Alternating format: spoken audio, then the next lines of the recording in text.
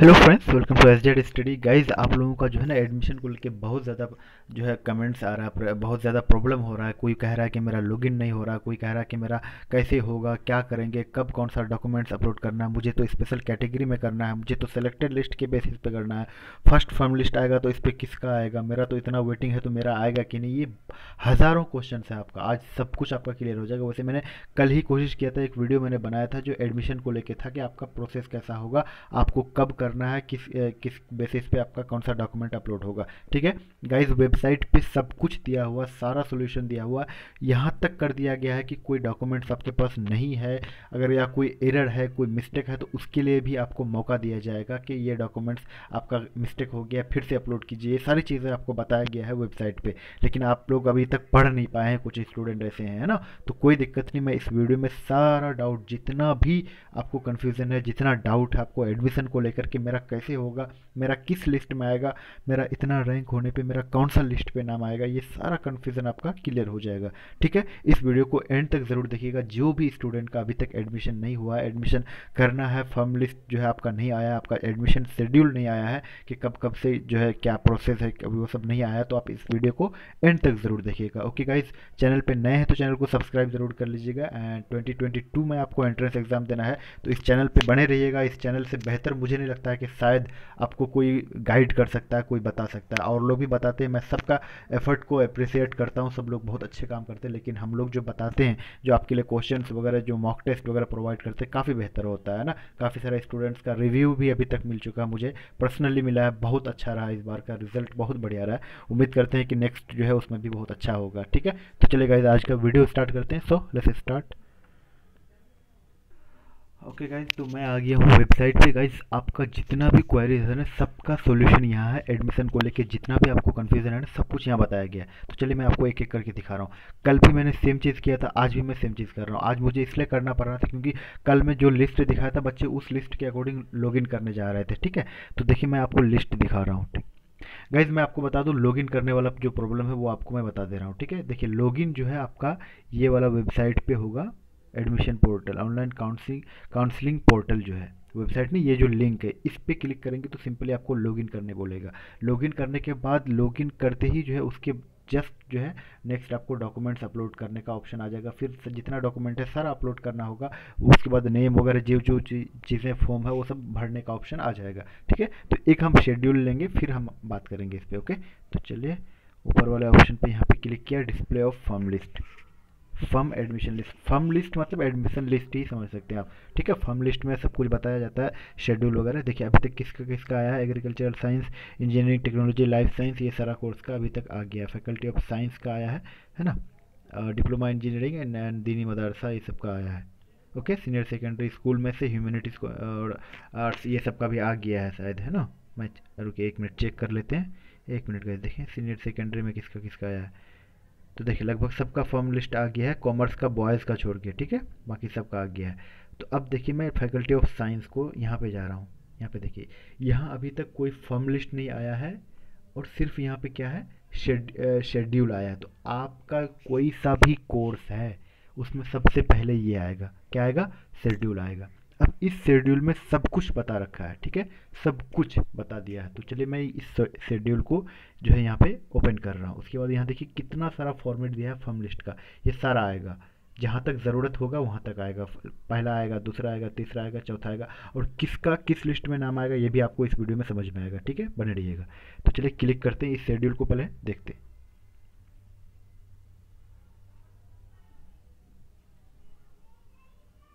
Gas देखिए, कल मैं जो वीडियो बनाया था ना, कुछ बच्चे उसी वीडियो को देख करके लॉगिन करना स्टार्ट कर दिए थे। तो देखिए यहाँ पे, ये कल ही का शायद वही वाला पीडीएफ ओपन हो गया ना शेड्यूल अभी तक जो आया था। इसका काम देखिए, मैं मैं फिर से यहीं पे समझा रहा हूँ, ये गलती है। खैर, कोई दिक्कत नहीं है।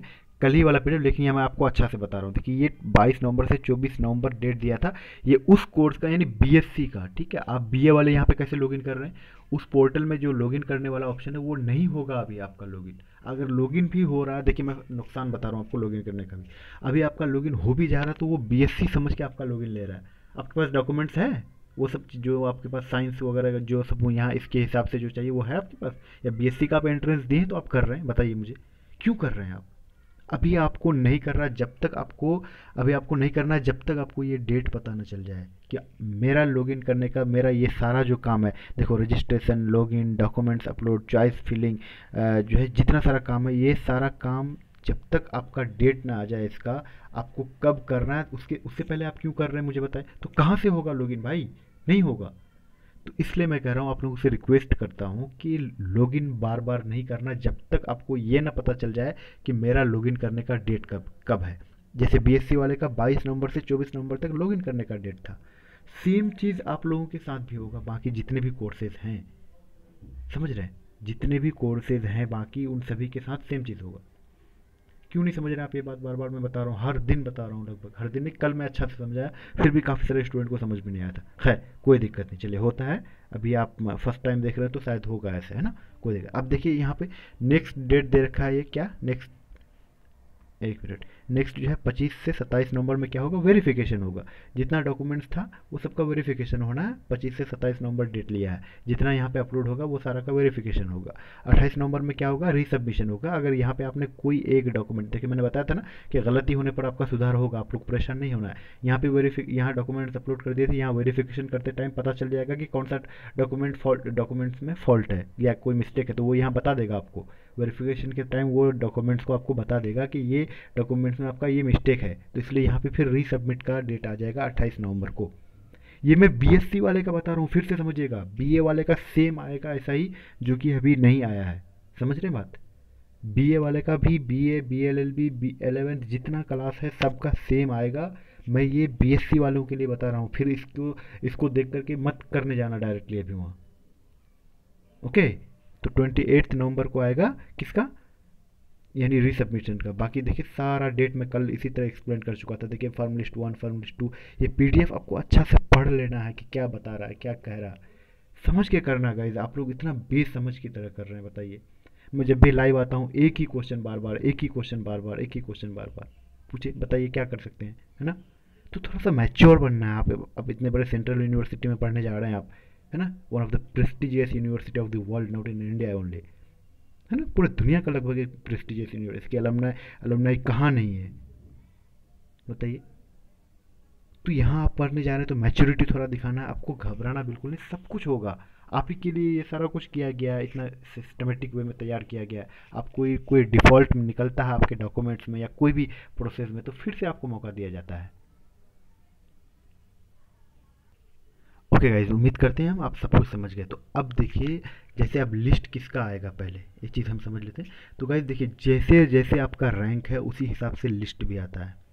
पहला लिस्ट में वो लोग, ऐसा नहीं कि सिर्फ़ सिलेक्टेड लोग होंगे वेटिंग लोग भी होगा, क्योंकि डॉक्यूमेंट्स अपलोड सारा काम एक बार में हो जाएगा, चाहे वो वेटिंग में हो सिलेक्टेड में हो स्पेशल कैटेगरी में हो, कोई भी हो, सबका डॉक्यूमेंट्स अपलोड सारा काम एक ही बार में हो जाएगा। बाकी फर्म लिस्ट आते रहेगा। फर्म लिस्ट यानी एडमिशन लिस्ट जो है अलग अलग आते रहेगा।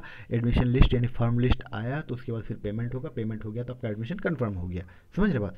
तो पहला लिस्ट में आप, आपका नाम कैसे आ जाएगा? अगर आपका वेटिंग में एक हज़ार है तो? और जिसका रैंक वो वन से लेकर फाइव हंड्रेड तक सेलेक्टेड में है तो उसका क्यों नहीं आएगा?